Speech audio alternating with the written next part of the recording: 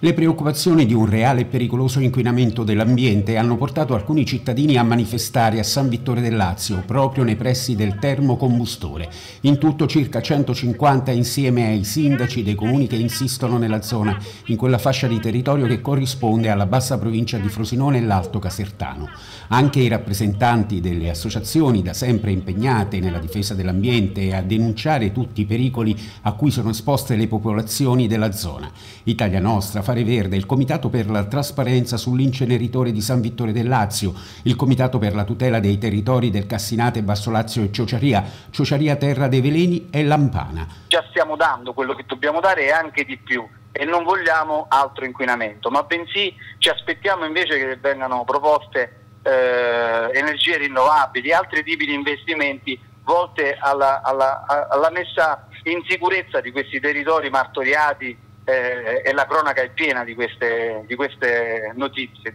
Una manifestazione pacifica per dire no alla realizzazione della quarta linea di incenerimento del termocombustore di San Vittore del Lazio a tutela della salute pubblica e dell'ambiente circostante, già compromessa da numerosi anni, le cui ulteriori emissioni andranno a impattare sui territori in modo gravissimo, provocando danni da inquinamento della terra, dell'aria e dell'acqua. Gli effetti saranno sicuramente proporzionali perché più è grande il termocombustore e in proporzione emetterà più sostanze nell'aria. E tra parentesi, eh, appunto durante i vari interventi dei, dei sindaci che si sono su, susseguiti, eh, la provincia di Frosinone è praticamente eh, nell'arco della, della, legge che prevede che tutte le province siano autonome per il ciclo di smaltimento dei rifiuti, la provincia di, di Frosinone già provvede a se stessa, quindi autonoma, e in più riceve eh, diciamo, rifiuti da, da altre ehm, province del Lazio. A rischio quindi la salute di migliaia di persone, territori che registrano incrementi di patologie oncologiche, polmonari e cardiovascolari.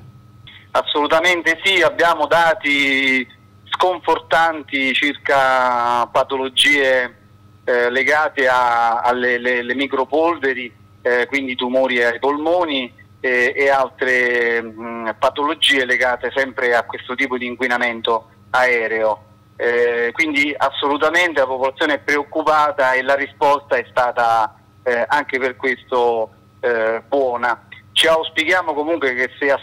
più, ci sia sempre più presenza e coinvolgimento delle persone